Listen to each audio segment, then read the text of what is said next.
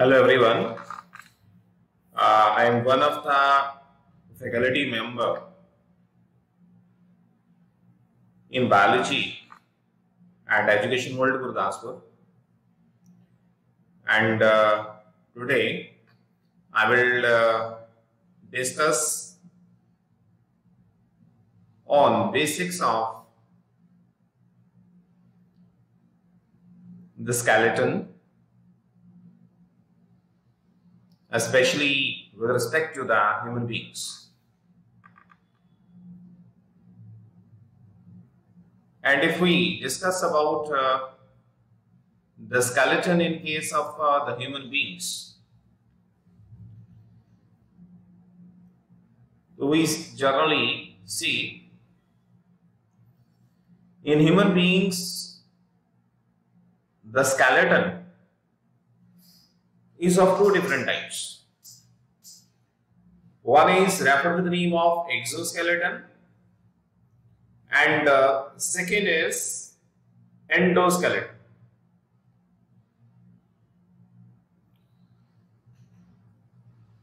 The exoskeleton includes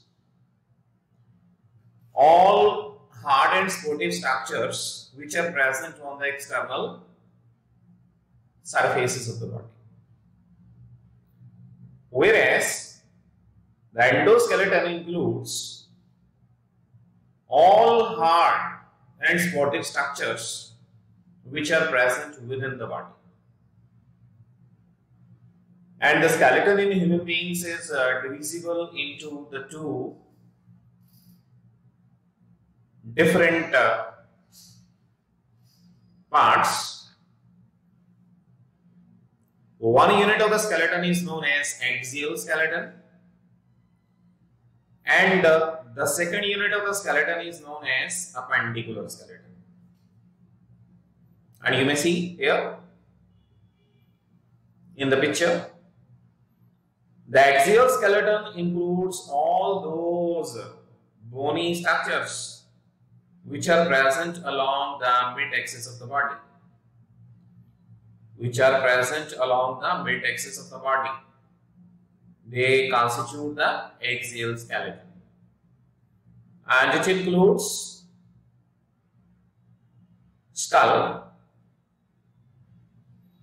then vertebral column or backbone,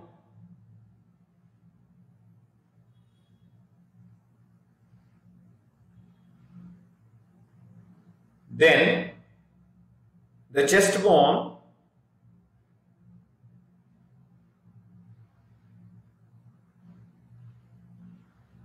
and along with that ribs.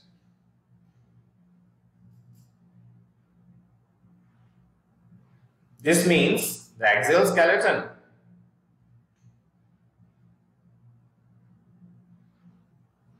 is comprised of all those hard structures, bony structures, which are present along the mid-axis of the body and this includes the skull, the vertebral column, chest bone and ribs.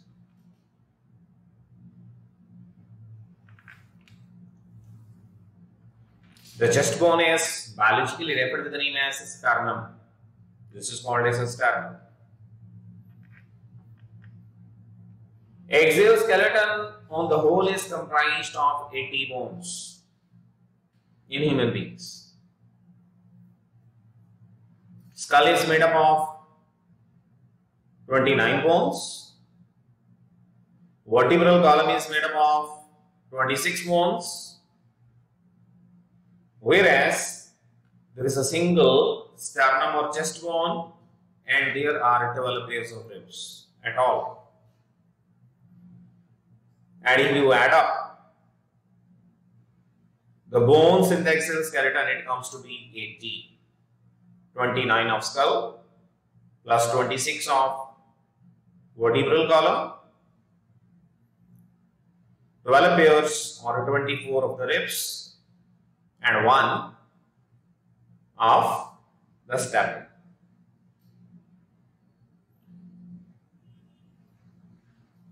The second part of the human skeleton is comprised of the bony structures which are present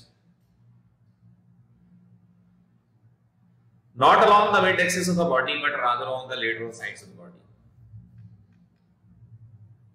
So this is referred with the name of appendicular skeleton. The second kind of the skeleton is appendicular skeleton. And this appendicular skeleton is made up of 120 bones. It is made up of 120 bones. For example,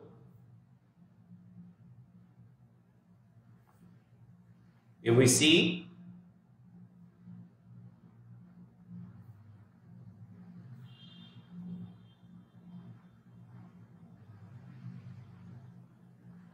these includes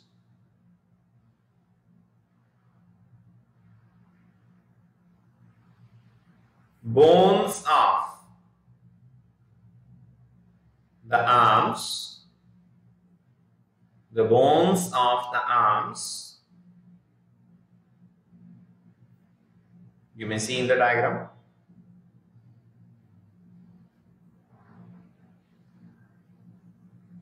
Along with that, shoulder girdle or pectoral girdle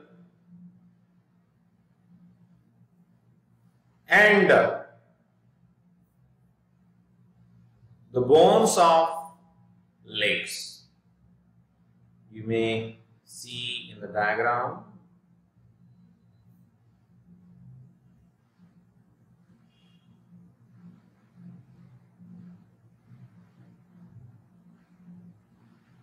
the bones of legs. And along with that, hip girdle or pelvic girdle. So keep in mind one thing. A Appendicular skeleton is comprised of all the bony structures which are present on the lateral sides of the mid axis of the body. It includes the bones of the legs, bones of the arms, shoulder girdle and hip girdle bones. So in the each arm there are 30 bones in each leg there are 30 bones. So since we are having the four limbs, we are having the two arms and two legs. So hence the total number of bones in the legs and arms are 120. Whereas a hip girdle, if you see this diagram, the hip girdle are two in number in the human body. You may see they are two in the number in human body. On the right side, we have one hip bone. On the left side, another hip bone. So it means that the two are the hip bones. Then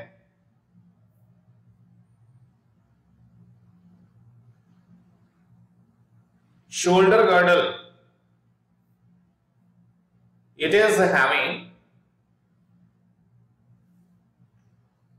the two bones on each side. It is having the two bones on each side. One flat bone which is called as a scapula and one cylindrical bone which is called as a clavicle or wishbone or collarbone.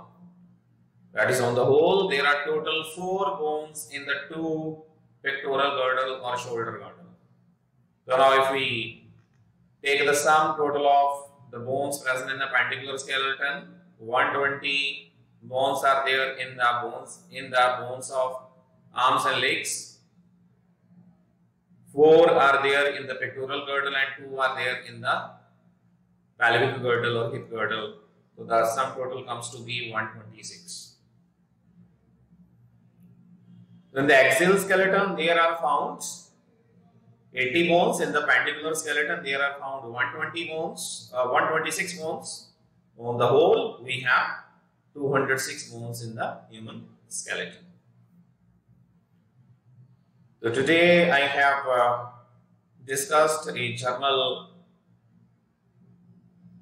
visionary lecture on the human skeleton. In the next lecture, I will discuss the details of the axial skeleton as well as the appendicular skeleton.